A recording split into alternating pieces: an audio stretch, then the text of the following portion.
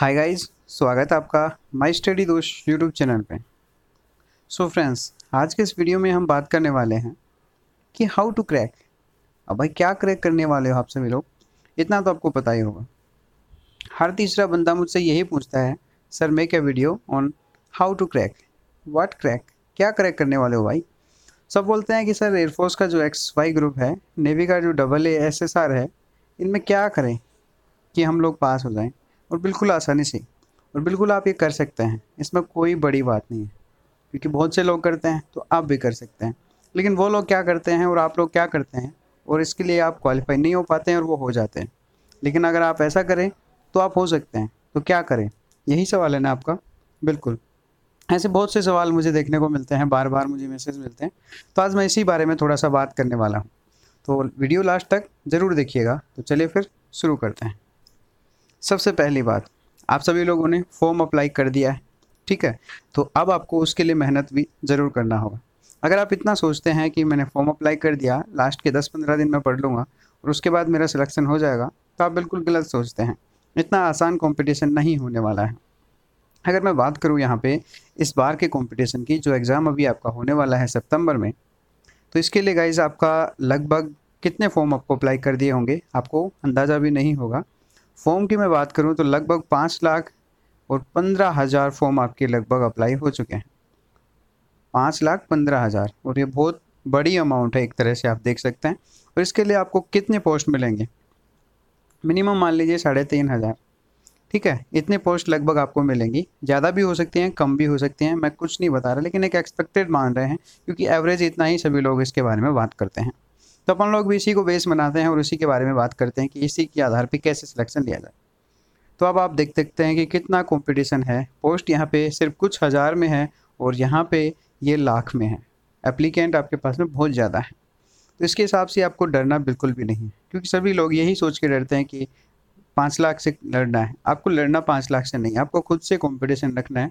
ये कभी मत सोचना कि वो बंदा ऐसा कर रहा है तो मुझे भी ऐसा करना चाहिए। बिल्कुल नहीं।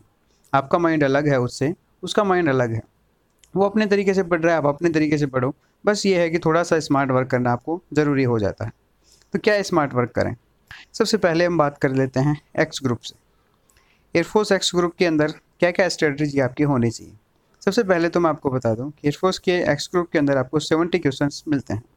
इसमें से ट्वेंटी फाइव आपको फिजिक्स से मिल देते हैं और ट्वेंटी फाइव आपको मैथ से मिल जाते हैं और ट्वेंटी क्वेश्चन आपको मिल जाते हैं इंग्लिश से। सभी के अंदर आपको एक एक मार्क का एक एक क्वेश्चन मिलता है। उसके अंदर इस बार नेगेटिव मार्किंग भी हो गया है, यानी कि वन बाई फोर्थ आपका नेगेटिव मार्किंग हो जाएगा।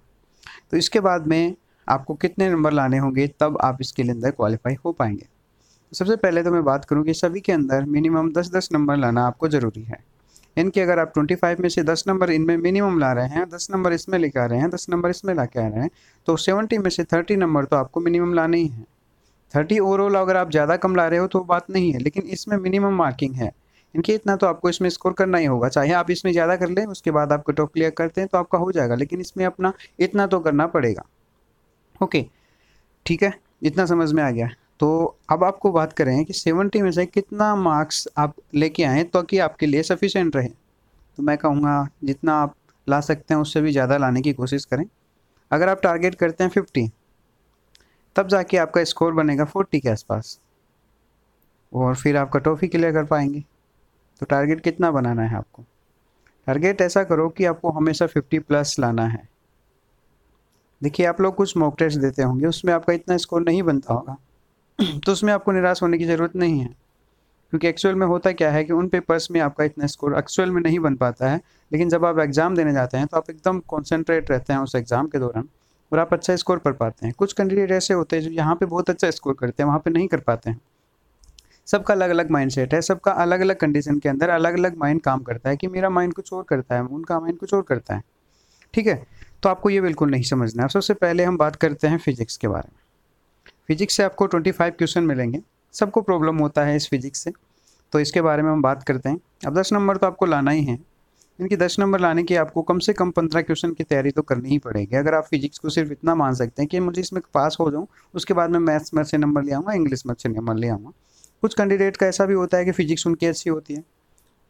तो एवरेज माने तो आपको कम से कम बीस क्वेश्चन इसमें अटैम्प्ट करने की आदत बनानी चाहिए। अगर आप पाँच क्वेश्चन मिस भी कर रहे हैं, क्योंकि आपको सिर्फ़ इसके लिए बीस मिनट का टाइम मिल रहा है तो बीस मिनट में आपको बीस क्वेश्चन तो इसके लिए अटैम्प्ट करने ही है। इस बार आप छोड़ भी सकते हैं, क्योंकि नेगेटिव मार्किंग है तो कुछ पाँच क्वेश्चन को ऐसे टारगेट बनाइएगा, जो आपको छोड़ने पड़ेंगे। अगर आप नहीं छोड़ेंगे तो नेगेटिव में जाएँगे। हो सकता है एक दो क्वेश्चन आपके सही हो जाएँ, लेकिन आपको वहाँ पे लक आजमाइश नहीं करनी है। पहले क्या होता था कि आप एक दो क्वेश्चन वैसे भी सही कर देते थे, ठीक है? तो 20 क्वेश्चन आप टारगेट बना रहे हैं, उसके बाद में आपको 20 में से कम से कम सारा काट पीट के 15 नंबर आपके आ जाने चाहिए। इतना टारगेट आपको रखना है। ठीक है तो इतना अगर आप फिजिक्स में कर लेते हैं सेम कंडीशन आपकी मैथ्स में लागू होती है ट्वेंटी फाइव क्वेश्चन होते हैं, कुछ कैंडिडेट्स का मैथ स्ट्रॉन्ग होता है, कुछ का फिजिक्स स्ट्रॉन्ग होता है, कुछ का दोनों स्ट्रॉन्ग होता है, उनको बहुत बेनिफिट होता है इस बात का, ठीक है? तो यही टारगेट आपको रखना है कि इसमें भी आपको पंद्रह नंबर लाने हैं। अगर आप इसमें पंद्रह नंबर ला रहे हैं, उसमें भी पंद्रह नंबर ला रहे हैं थर्टी नंबर आपके हो गए हैं। अब उसके बाद हम बात करते हैं इंग्लिश इंग्लिश आपको बीस नंबर दे के जाएगा, और बीस नंबर में से आपको दस तो लाने ही हैं। यानी कि थर्टी प्लस टेन, फोर्टी तो आपके हो गए हैं। इनकी कट ऑफ़ तक तो आप पहुँच चुके हैं। अब आप जो हैं, दूसरों से जो लीड लेंगे, वो इसी इंग्लिश से लेंगे, क्योंकि दस नंबर आपने यहाँ पे बना लिया। और इंग्लिश में देखिए थोड़ा सा क्या होता है कि आपको वोकेबली स्ट्रॉन्ग करना होता है, और कुछ ग्रामर का पोर्सन है, और इतना हाई लेवल का इंग्लिश पूछा भी नहीं जाता है। और आपके पास में इसके लिए भी बीस मिनट है, और 20 मिनट के साथ में आपको 20 ही क्वेश्चन मिल रहे हैं, और इंग्लिश को करना बहुत आसान है, अगर आपको इंग्लिश अच्छे से आती है तो। ठीक है? तो इसके अंदर आप 15 प्लस स्कोर कर रहे हैं, यानी कि अगर आप तीनों के अंदर 15 प्लस स्कोर करते हैं तो 45 प्लस स्कोर आप यहाँ पे कर पाएँगे। और अगर इस बार आप नेगेटिव मार्किंग से साथ 45 का स्कोर करते हैं तो 100 परसेंट आप इसका सिलेक्शन मान सकते हैं कि आप एक्स ग्रुप में सेलेक्ट हो जाएँगे। मैं सिर्फ़ बात कर रहा हूँ फ़ेज़ वन के लिए। फ़ेज़ वन के लिए ही आपके मार्क्स माने जाते हैं। कहने का मतलब यह है कि इसी मार्क्स के आधार पर आपकी मेरिट लिस्ट बनती है। वो बात अलग है कि अगर आप एनसीसी रखते हैं तो उसके लिए भी आपको मार्क्स लिए जाते हैं। तीन मार्क्स चार मार्क्स और पाँच मार्क्स किस बेसिस पे मिलते हैं? ए वाले को तीन मार्क्स बी वाले को चार मार्क्स और सी वाले को. लेकिन ये फ़ेज़ वन के लिए नहीं दिए जाते हैं.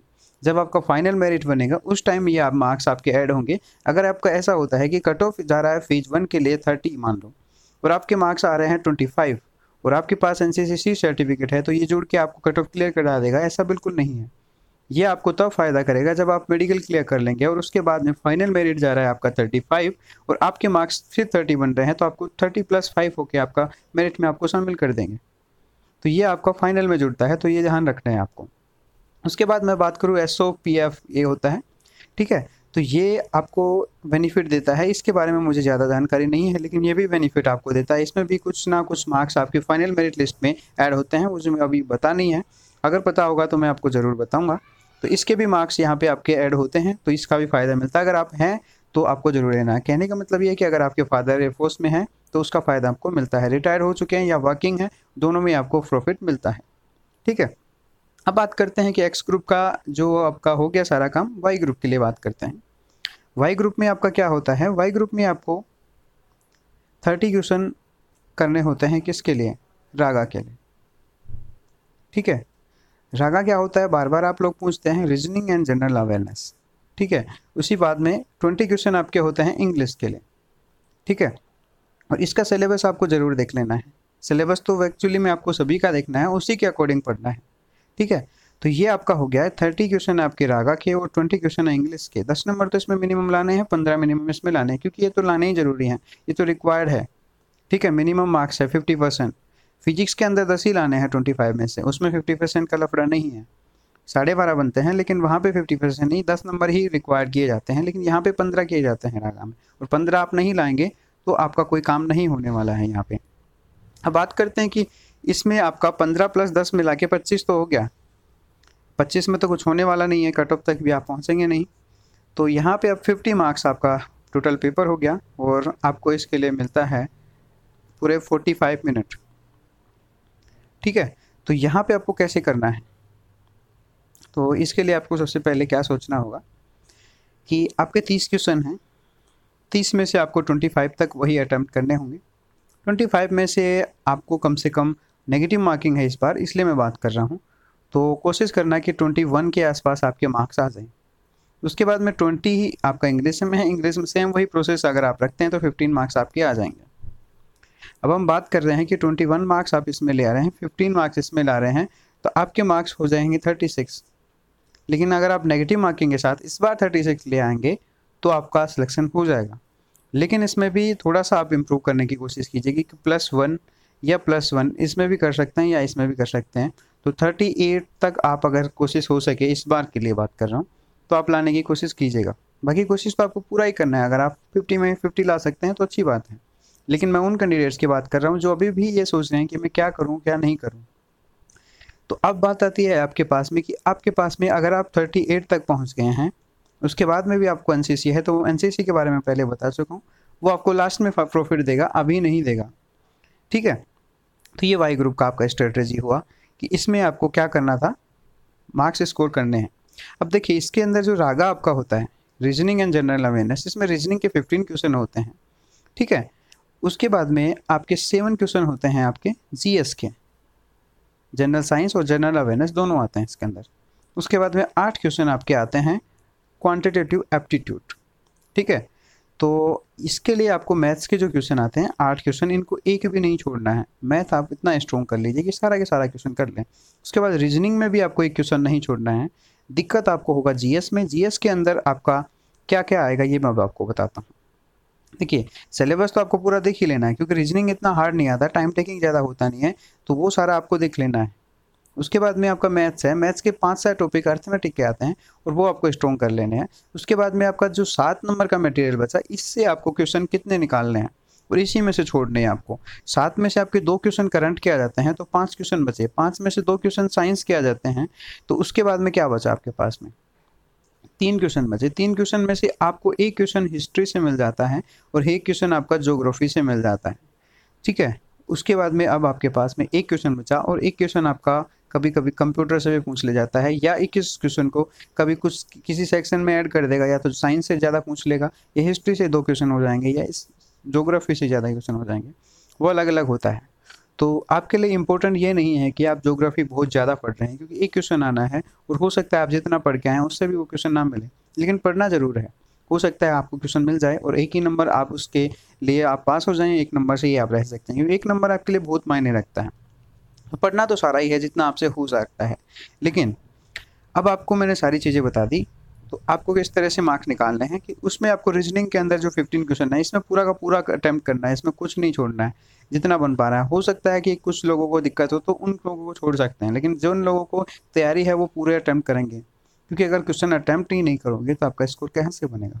उसके बाद में आठ क्वेश्चन मैंने मैथ की बात की तो इनमें भी कोई दिक्कत नहीं आती है मैथ के क्वेश्चन इतने हार्ड नहीं आएँगे, ज़्यादा टाइम टेकिंग भी नहीं होंगे। उसके बाद में जनरल अवेयरनेस के बारे में मैंने सारी चीज़ें बता दी तो अब आपको क्या लग रहा है कि आप अगर थर्टी एट का स्कोर अगर इस बार कर लेंगे तो आपका हो जाएगा? बिल्कुल। अगर आप इतना स्कोर कर पा रहे हैं वाई ग्रुप के लिए तो आप यहाँ पे सेफ़ जोन में मान सकते हैं अपने आप को, लेकिन इससे कम आप नहीं मानेंगे अपने आप को सेफ़ जोन के अंदर। ठीक है? अब ये तो हमारा हो गया फ़ेज़ वन की सारी प्रोसेस फ़ेज़ टू में तो मैं बार बार आपको बहुत बार बता चुका हूँ कि क्या प्रोसेस आपका होता है। उसके बाद आपका मेडिकल होता है और उसके बाद आपका आता है फाइनल मेरिट लिस्ट और फाइनल मेरिट लिस्ट के कुछ पाँच सात दिन बाद में आपको ज्वाइनिंग लेटर मिल जाते हैं, आपके मेल पे आपको सेंड कर दिए जाते हैं और उसके बाद में मेल पे सॉरी सेंड नहीं कर जाते हैं, आपको पोस्ट से सेंड कर दिए जाते हैं और वहाँ पे ऑफिशियली भी आपको साइट पे अपडेटेड कर दिए जाते हैं। तो वहाँ से आपको लेटर देख के उस हिसाब से आप ज्वाइनिंग के लिए जा सकते हैं।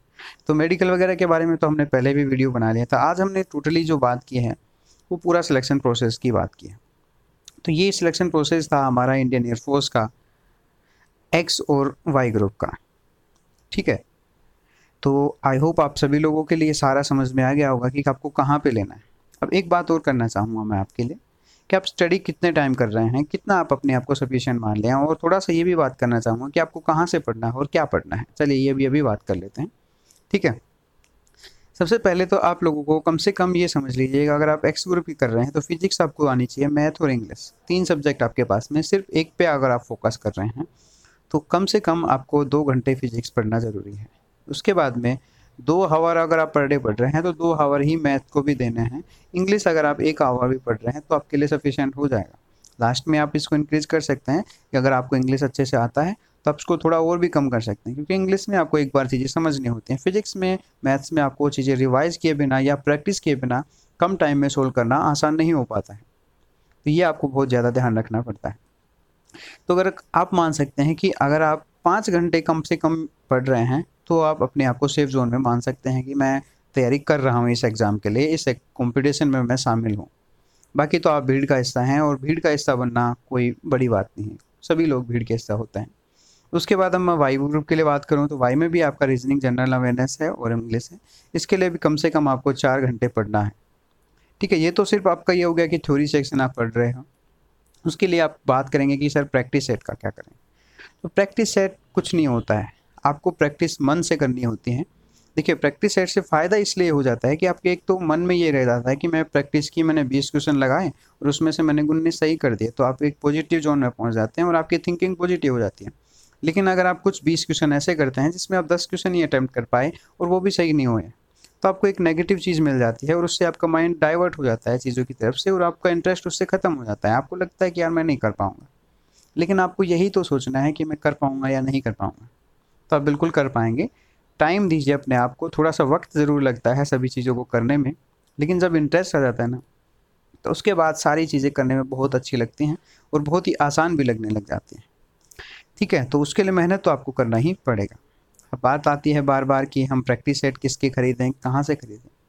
देखिए, आपका कॉन्सेप्ट अगर आपने क्लियर कर लिया है पूरा, ठीक है? एक बार आपने सारा पढ़ लिया कि हाँ इस बारे में मैं जानता हूँ, अगर इस टॉपिक से रिलेटेड मुझे क्वेश्चन पूछा जाएगा तो मैं थोड़ा बहुत इसके बारे में जानकारी रखता हूँ और थोड़ा बहुत टेक्निकल चीज़ें भी आपको जानकारी होनी चाहिए कि अगर इसके आसपास क्वेश्चन बनता है तो मैं कैसे घुमा के, कैसे भी पूछ सकता है, उसको कैसे आंसर दे दूँगा?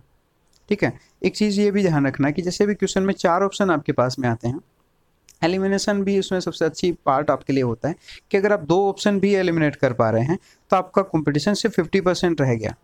अगर आप इनमें गलत भी चूज़ करेंगे तो ट्वेंटी फाइव परसेंट आपका यहाँ पे सॉरी फिफ्टी परसेंट आपके चांस हो जाएँगे एक क्वेश्चन का सही होने का।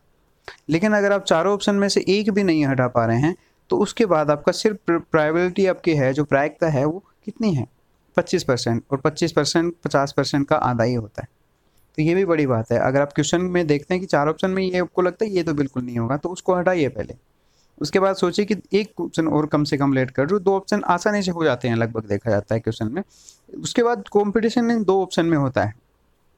और इन दो ऑप्शन में से भी अगर आप एक एलिमिनेट करते हैं तो लास्ट आपका आंसर ही बच जाता है। और आपको कोशिश करनी है कि इस तरह से ऑप्शन के भी जाएँ। कई क्वेश्चन में ऐसे होते हैं, जो ज़्यादा टफ होते हैं, उनमें आपको थोड़ा सा दिमाग लगाने की ज़रूरत होती है। एग्जामिनर खुद उनको ये सोचना चाहता है, या आपको बताना चाहता है कि आप इसको कैसे हैंडल कर रहे हैं। बहुत ज़्यादा लेंथी क्वेश्चन दे देगा।